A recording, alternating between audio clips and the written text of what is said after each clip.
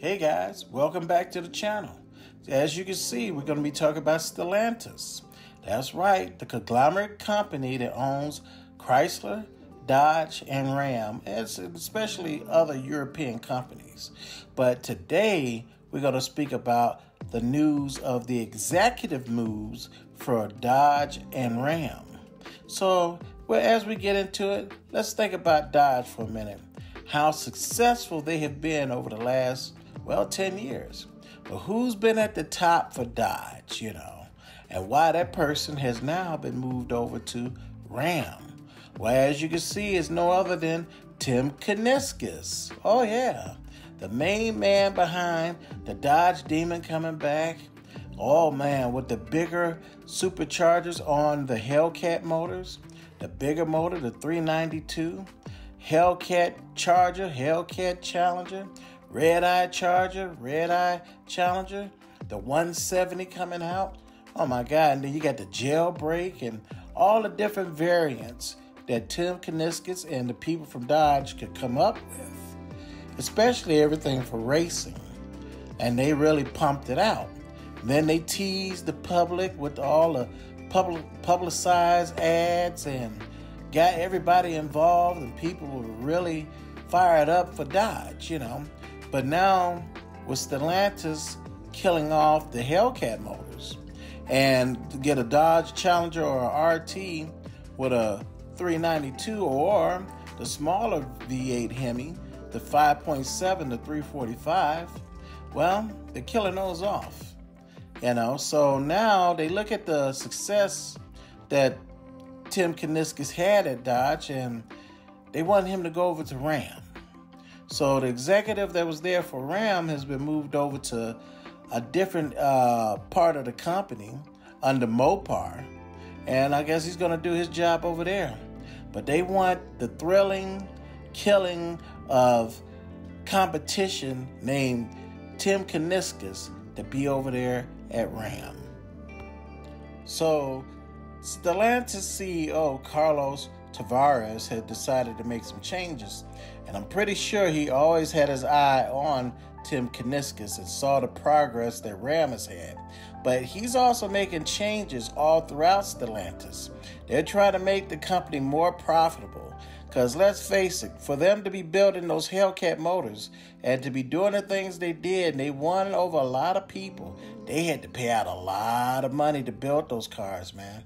So now he's moving Tim Kuniskis over to Ram to make it more profitable and exciting. Because you know, come 2025, they're going to be making changes to a lot of the trucks as far as the trims are concerned. So why not send the man over there, as you see him right here in front of the Dodge Demon? Uh, why not send him over there to Ram? And you know what I found out?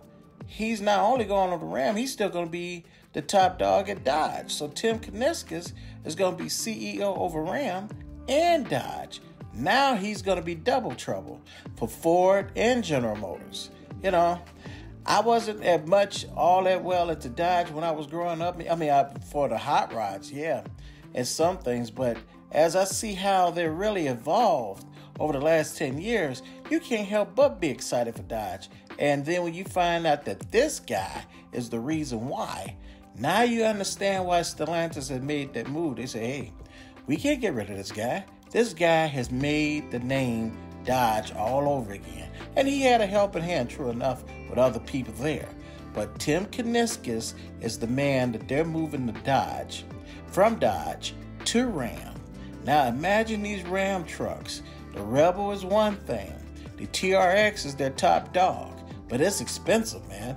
Do you got $85,000 just to drop on a TRX?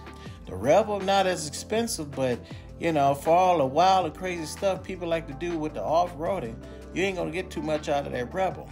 But can you imagine when Tim Kuniskis go over there with this brand new Hurricane twin turbo inline six, what he will do with that motor?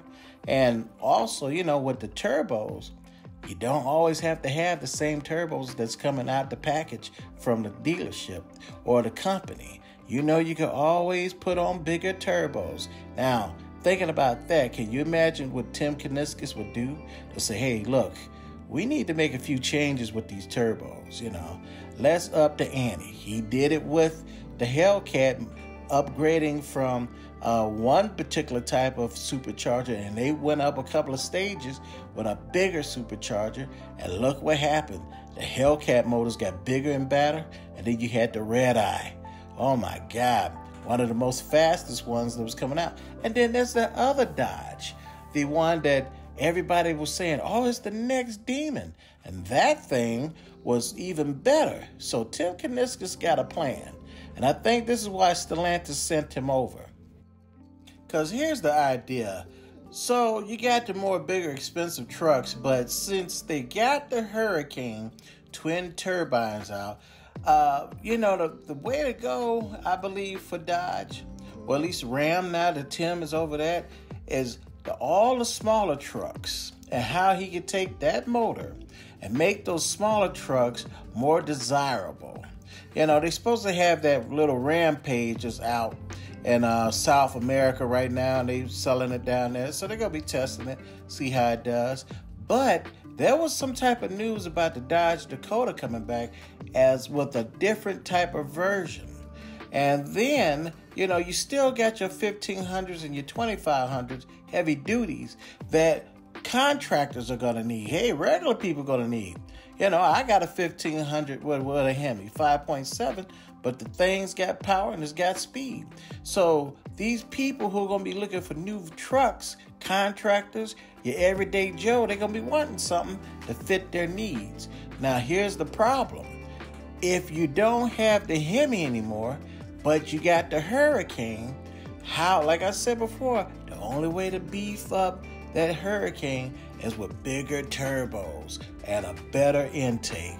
And like I said, if Ram has got Dodge experience with Tim Kuniskis, they're going to have that Dodge power. You know, and I also found out like this emblem, they're not going to have it on come 2025. They're not going to have the emblems on the back of the tailgates no more. It's just going to be Ram you know. So certain packages won't be available anymore, but we're not focusing in on the trims. We're focusing in on this hurricane motor. And since Tim Kuniskis is there now, and I'm sure he made a bunch of changes when he got in.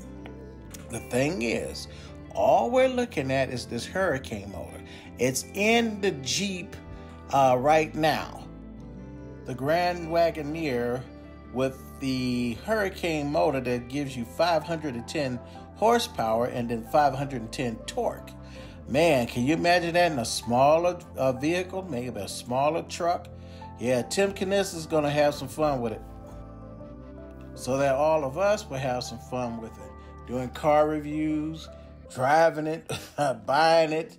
It's going to be a wonderful time, man, because now you got to replace the all Big Daddy uh, Hellcat motors. So Tim's going to have his hands full, but I'm pretty sure this man is going to have those motors screaming down the track with twin turbo instead of a supercharger.